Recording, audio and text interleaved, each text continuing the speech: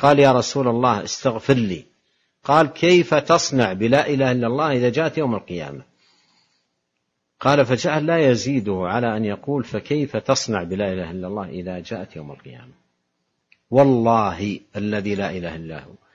إن الناصح ليتألم أشد الألم للشباب الذين دخلوا في فكر الخوارج.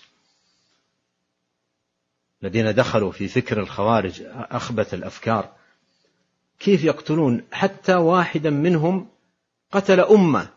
أمه المصلية الصائمة. قتل أمه.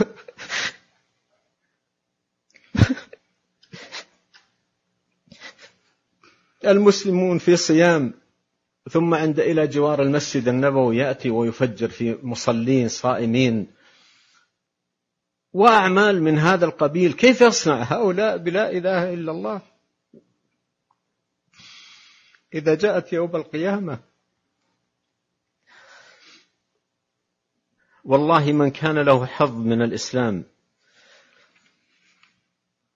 ولو نزرا قليلا ولو قدرا يسيرا فإن دمه محرم ومعصوم.